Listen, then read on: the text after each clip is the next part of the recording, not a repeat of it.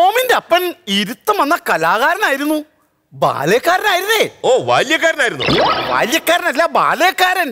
ഈ സ്ത്രീ വേഷം കെട്ടലായിരുന്നു അപ്പൻ തിനിമയുടെ സ്ഥിരം പരിപാടി. പക്ഷെ നാട്ടുകാർ പറയുന്ന ഈ സ്ത്രീകളുടെ മുമ്പിൽ ചില വേഷം കെട്ടലുകളായിരുന്നു പരിപാടി ഈ പാഞ്ചാലി വസ്ത്രാക്ഷേപം ബാലയിൽ പാഞ്ചാലിയുടെ വസ്ത്രം ആക്ഷേപിക്കുന്ന ദുശാസനായിട്ട് മോമിന്റെ അപ്പനാണ് അഭിനയിച്ചത്. ആ, അതെനിക്കറിയാം. അതിന്റെ കേസ് ഇപ്പോഴും നടക്കുന്നുണ്ട് കോടതിയിൽ. കേസോ?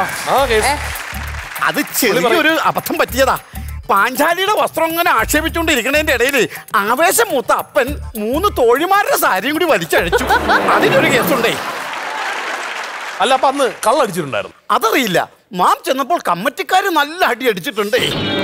അല്ല അപ്പൻ ഇരുത്തം വന്ന കലാകാരനാണെന്ന് പറഞ്ഞത്? അമ്മാതിരി ഇടിയല്ലേ കമ്മറ്റിക്കാരടിച്ചത് മാം ഓടി ചെന്നപ്പോൾ അപ്പം ദേ തൊഴുകയ്യോടെ ഇങ്ങനെ ഇരിക്കുക അങ്ങനെ തന്നെ പൊക്കി വീട്ടിൽ കൊണ്ടു ചെന്നു വീട്ടിൽ കൊണ്ടു ചെന്നിട്ടും ഇങ്ങനെ തന്നെ ഇരിപ്പ്.